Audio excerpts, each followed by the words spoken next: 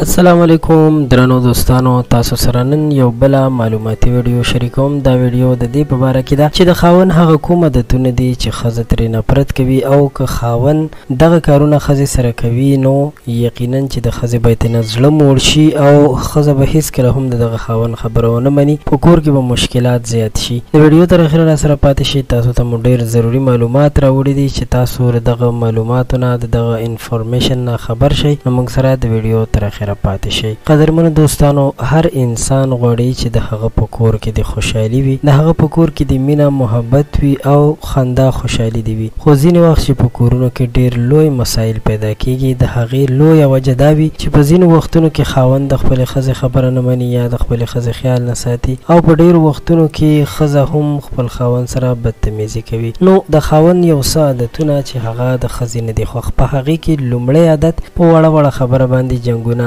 لانجې، کول، کوم خاوندان چې داسې کارونه کوي یا خپلو میرمنو ته په وړه وړه خبر باندې کنځل کوي، بې عزتي یې کوي او د هغوی د عزت خیال نه ساتي نو دا لومړی خبره ده چې داسې خاوندانو سره د ښځو وخت نه پاس کیږي یو نه یو ورځ به یې په کور کې داسې لوی مشکل پیدا کیږي چې بیا به یې سړی هم په چل باندې نه پوهیږي چې اوس ورسره څه وکړي نو په دې دوران کې ډیر زیات احتیاط پکار دی د خپلې ښځې د کورنۍ او د خپلې ښځې خیال ساتل پکار دي دویم دا چې اکثره وختونو کې به تاسو هم لیدلي وي چې د واده په شپه باندې به تاسو اوریدلي وي چې خاوندانو خپلې ښځې د مرګ تر حده وهلي دي نو داسې هم نه وي کول پکار دا هم یو ډیر لوی ظلم دی څکه چې هغه د پردي کور نه ستا کور ته راغلي ستا لپاره راغلي او خاوند یې صرف د دې په خاطر باندې د واده په په وهي ټکوي چي په هغې باندي رعب جوړ شي نو داسي کار هم نه دي کول پکار ځکه چي هغه هم انسانه ده په خبره باندي هم پوهيږي لکه څنګه چي سړی په خبره پوهيږي